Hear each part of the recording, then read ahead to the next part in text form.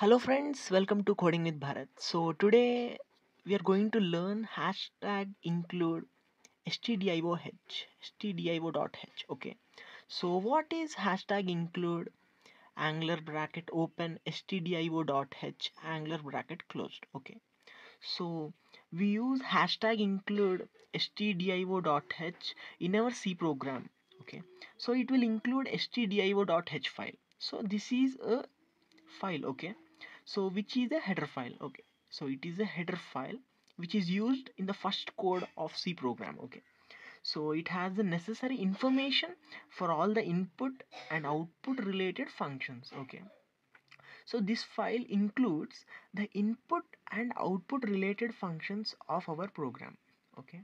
So what is so what contains in this okay? Hashtag include stdio.h so so we all know this is a hashtag. Hashtag okay. So what is this hashtag include? Okay. So hashtag include is nothing but a pre-processor directory a pre-processor directory okay. So this is an angular bracket an angular bracket. And uh, stdio.h is nothing but a header file.